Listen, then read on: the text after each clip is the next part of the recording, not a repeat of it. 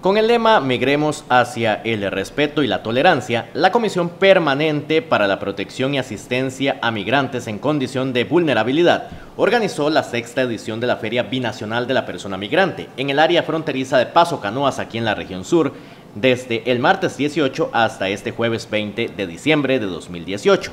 En el marco del Día Internacional del Migrante, que se conmemora el 18 de diciembre, las instituciones costarricenses y panameñas que integran estas organizaciones coordinaron este evento con el apoyo de la Organización Internacional para las Migraciones OIM y el Convenio para el Desarrollo Fronterizo Costa Rica-Panamá. La Organización de las Naciones Unidas, la ONU, manifiesta que a lo largo de la historia de la humanidad la migración ha sido una expresión valiente de la determinación individual de superar la adversidad y buscar una mejor vida.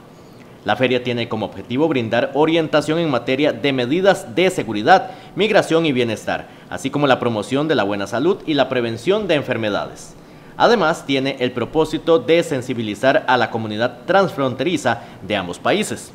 En especial, atención y orientación a la población migrante de la etnia Nave Buglé, que viaja por esta zona hacia las fincas cafetaleras de Costa Rica para la temporada de cosecha de este producto agrícola. Las instituciones y organizaciones costarricenses y panameñas que integran estas organizaciones, la UTEP y COPAMI, contarán con stands informativos para promocionar sus servicios y un espacio para desarrollar actividades dirigidas a la población migrante y al público en general residentes en el área fronteriza. Según el Centro Latinoamericano y Caribeño de Demografía, 25 millones de personas nacidas en países latinoamericanos y caribeños residen fuera de sus países de origen. De esa cifra, cerca de 7 millones proceden de estas regiones, migraron hacia los Estados Unidos durante la década de los 90. El Día Internacional del Migrante fue declarado por la Asamblea General de las Naciones Unidas en su resolución 5593 el 4 de diciembre de 2000